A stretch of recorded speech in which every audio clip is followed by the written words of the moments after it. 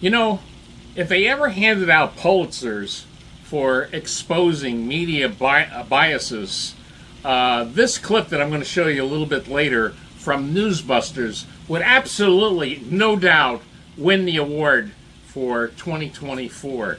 It's uh, now a lot of you, I'm sure, have seen it.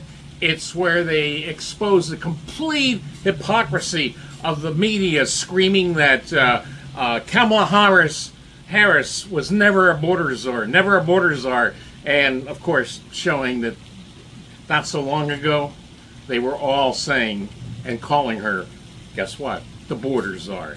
So uh, now the interesting thing is this clip that I'm going to show you later on is, was so effective that it, it just it completely humiliated the media, and already already they're doing a big U-turn on it because uh, today uh, August 28th, Sunday, uh, I'm sorry, August, uh, July 28th, uh, we, we're already seeing the media backtracking. And a good example was uh, this morning on CNN. So let's take a look at this first clip from Jake Tapper acknowledging what we all know Kamala Harris was in charge of the border, AK border czar. President Biden charged Vice President Harris with addressing the root causes of mass migration at the border by going to those uh, Central American countries. She's consistently defended his handling of the border crisis. I don't know, I don't need to tell you, voters overwhelmingly disapprove of how the Biden Harris administration has handled uh, the border by giving the nomination to one of the leaders of the border effort. Aren't Democrats doubling down on one of your party's biggest vulnerabilities? Okay, now let's look at the second clip from CNN and this is from uh, Inside Politics, and they're they're acknowledging yes, Kamala Harris was what we we've been told she was before. Uh, gasp! She was a border czar. So let's roll that clip. There were some House Democrats who voted with Republicans this past week on a resolution to criticize Kamala Harris over her role in immigration in the Biden administration. They were Democrats in the toughest races aligning themselves with the Republicans. So it shows you they're still calibrating the politics of their new reality.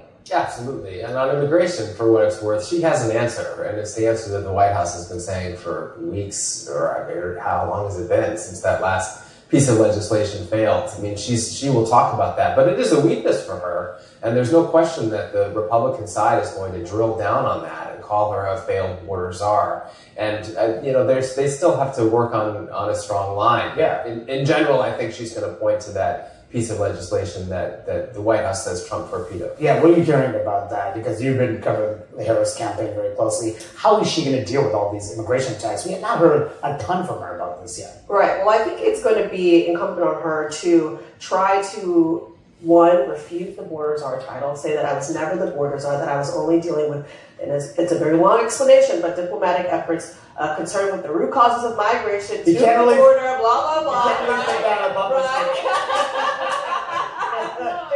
I think that no, I wasn't the border czar. I was dealing with root causes. But I think don't it's know. never been convincing, and that's why three years later it is still an issue. And if you remember back to 2021, this is not something that she wanted on her portfolio. Her office was really in in a conflict with the West with the West Wing on not giving her this immigration because they knew it was a loser. Now three years later, here we are. But I think that they're going to try hard to push back on it. Whether or not that actually works is up for debate. But I think that they're going to try to push very very hard because they recognize that that is a vulnerable spot for them.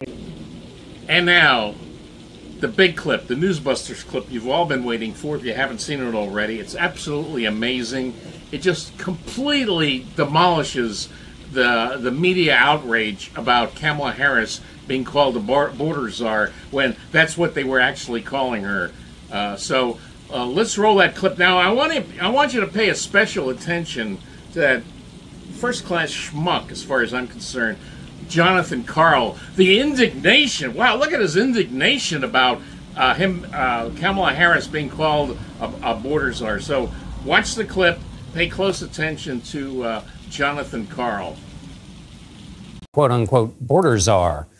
Vice President Harris was not a border czar. Meantime, Vice President and border czar Kamala Harris facing some backlash. What he said about Harris and immigration was not true. She was never appointed border czar. Uh, and this will be her first visit to the uh, U.S. Mexico border region since she was appointed as the border czar by President Biden. People gonna have to counter the misinformation. You already hear folks talking about the border czar. She wasn't the border czar. President Biden tapped Kamala Harris, Vice President Kamala Harris, to be the border czar. Now, she wasn't the border czar. That's what Republicans uh, labeled her. They were very critical of Kamala Harris, especially in her role as border czar. Now, what she's up against is folks lying about her border record, calling her a border czar. Kamala Harris, who was appointed as the border czar. The Biden team didn't declare her the border czar. They wanted her to work on kind of the root causes of mm-hmm. immigration. There has been so much criticism against Kamala Harris. You know, she was the, the border czar. Calling her sort of the border czar, uh, which wasn't necessarily the case. So the border, if they weren't planning to address it in a major way, do not make her your border czar. She met with some of the Northern Triangle countries, but nothing has effectively changed.